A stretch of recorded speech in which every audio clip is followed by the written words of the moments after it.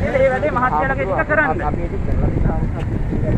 ඉතින් හරි මේ පේමන්ට් එක පේමන්ට් එක කාගේද? අපිට පාර යන්න දෙන්න. ඉතින් පාර යන්න දෙන්න. මොකද කතාන්ද? මේක මේ ඔබතුමාලා මේක මේ අනවශ්‍ය ප්‍රශ්නයක් ඇති කරනවා.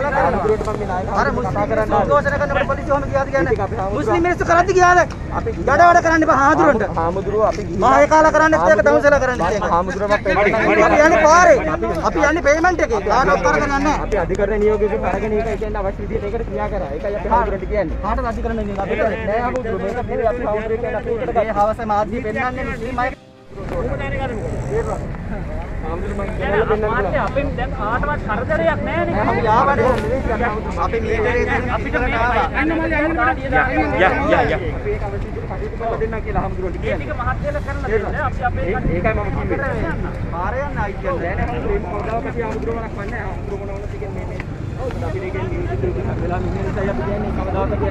Breaking.lk